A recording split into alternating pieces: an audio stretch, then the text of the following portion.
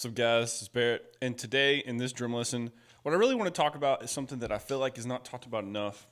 And that's the idea that music has a lot to do with mindset and goals. And what I've kind of boiled it down to in my experience, my practice, whatever, is there's really three main mindsets in music, and they're all very different, okay?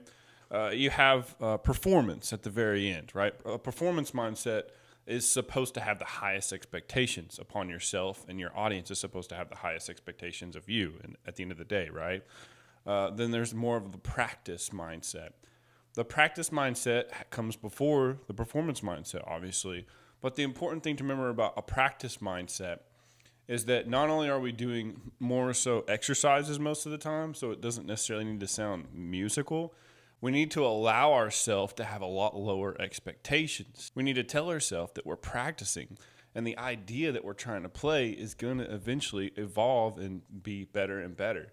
And I think a lot of things that turn people away from music who start and then and quit is that they have too high of expectations for themselves when they're sort of in the practice mindset. The last mindset that's never really talked about enough, especially in certain cultures and certain areas in music, is what I like to call the expression mindset, where you're just trying to express. The main difference between the practice mindset and the expression mindset is that in an expression mindset, you just want to do that. You should have literally zero expectations, okay?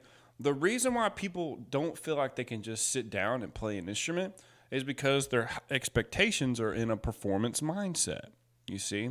And in reality, when you're just expressing yourself on the instrument, it doesn't have to be good. It doesn't have to be an exercise. It doesn't have to be a song.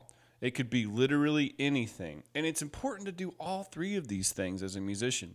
So let's talk about it a little bit. Obviously, the practice mindset is what allows you to express and perform, which is why practicing is kind of the overarching thing that in the music world we're all expected to practice.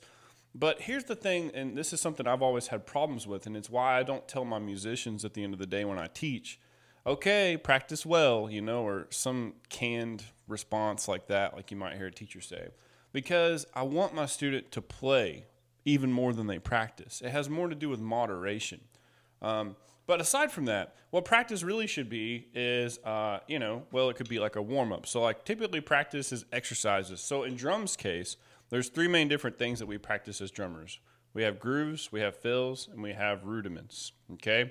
So a rudimental idea or more of an exercise could just be either singles or doubles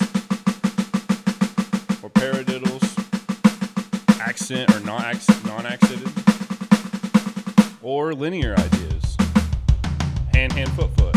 I think it's time that we accept in the drumming world and the music world linear is really like a drum set type rudiment. Hand, hand, foot. Hand, hand, foot, foot. So when I'm practicing, I really need to think about those ideas as being what they are. They're just simple ideas that I can play over and over again. Uh, and then when I'm expressing myself, I want to then expand those ideas that I'm then practicing. So take singles, for example. Uh,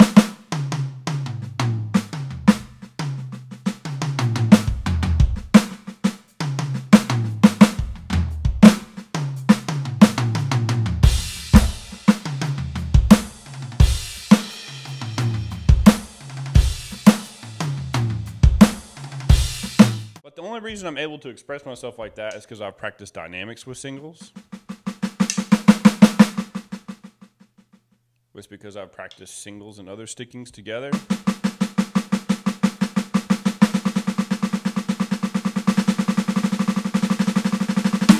And when you practice doing those sorts of things, that's going to allow you to express yourself more. But here's the caveat if you only ever practice or if you're only ever in a performance mindset when you really need to be in an expression mindset, that's a bad thing, right?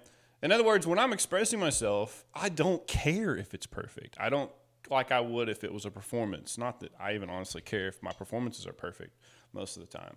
But the point I'm trying to say is, um, you know, as a musician, it is important that at the performance level, you are thinking about the performance more than you are about the playing. So practice allows us to express and perform, but they're all three different mindsets. And this is a very deep topic. It's hard for me to explain it all in one little simple video. I doubt most people are even going to make it this far because people like to watch one or two minute videos these days. But it's just a topic I wanted to talk about a little bit. I guess this is really a topic I could really write a whole book on if I really wanted to. Um, who knows? Maybe I'll meditate on that. Y'all have a good one. Uh, if you understood what I mean, uh, you know, say in the comments maybe uh, what your opinion is on the things that I'm talking about. And I'm not trying to be controversial. Obviously, practice is very important, but I feel like the musicians who only ever practice, they don't have their own voice on the instrument because all they've ever did was practice or perform something.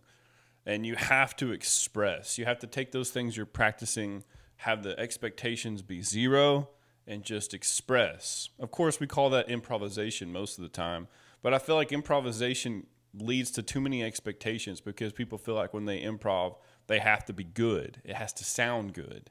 And that's just simply not true. So, thanks for listening to my little TED talk here, or whatever you want to call this. And I'll see you guys in the next one.